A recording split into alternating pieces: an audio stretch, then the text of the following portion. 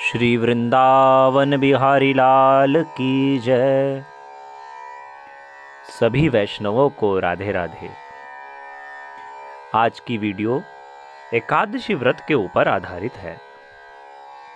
आइए सबसे पहले जानते हैं कि एकादशी व्रत का मूल कारण क्या है। सभी व्रत अपनी मनोकामनाओं की पूर्ति के लिए होते हैं।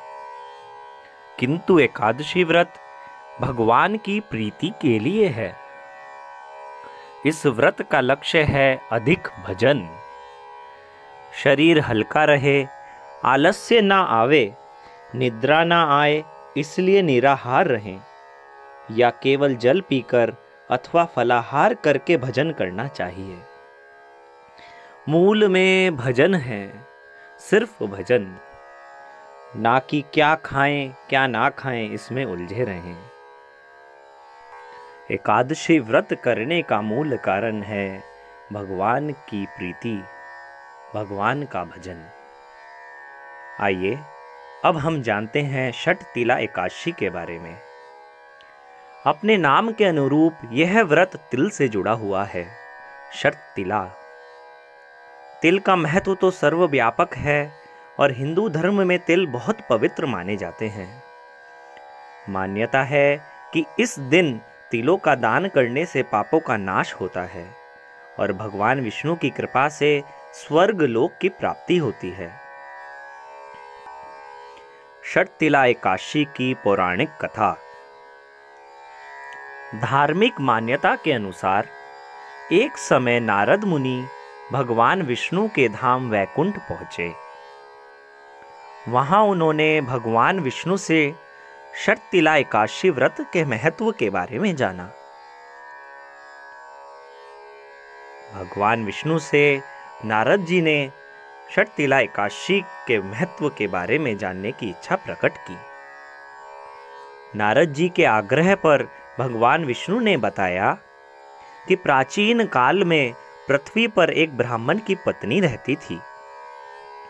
उसके पति की मृत्यु हो चुकी थी। वह मेरी अनन्य भक्त थी और श्रद्धा भाव से मेरी पूजा करती थी। एक बार उसने एक महीने तक व्रत रखकर मेरी उपासना की।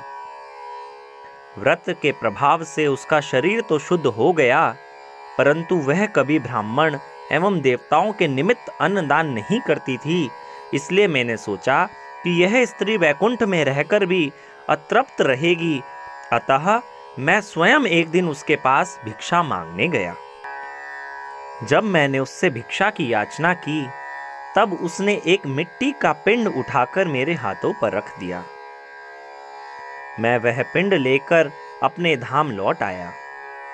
कुछ समय बाद वह देह त्याग कर मेरे लोक में आ गई। यहाँ उसे एक कुटिया और आम का पेड़ मिला। एक खाली कुटिया को देखकर वह घबराकर मेरे पास आई और बोली, कि मैं तो धर्म परायण हूँ, फिर मुझे खाली कुटिया क्यों मिली? तब मैंने उसे बताया कि यह अन्नदान नहीं करने तथा मुझे मिट्टी का पिंड देने से हुआ है। मैंने फिर उसे बताया कि जब देव कन्याएँ आपसे मिलने आए, तब आप अपना द्वार तभी खोलना जब तक वे आपको शक्तिला एकाशी के व्रत का विधान ना बताएँ।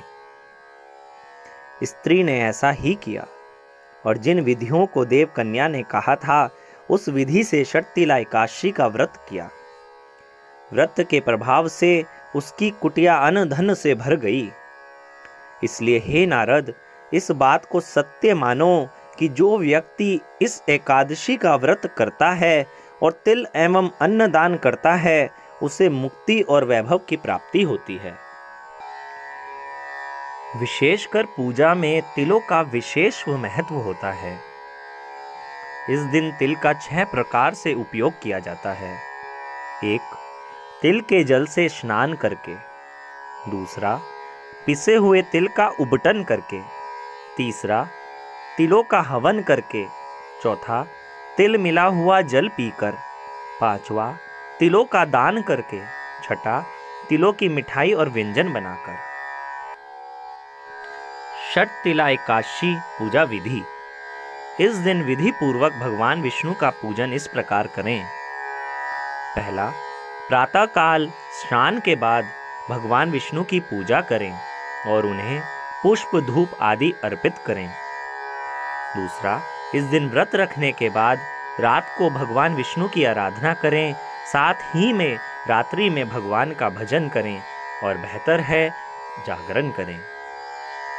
इसके बाद द्वादशी के दिन प्रातः काल उठकर स्नान के बाद भगवान विष्णु को भोग लगाएँ और पंडितों को भोजन कराने के बाद स्वयं अन्न ग्रहण करें।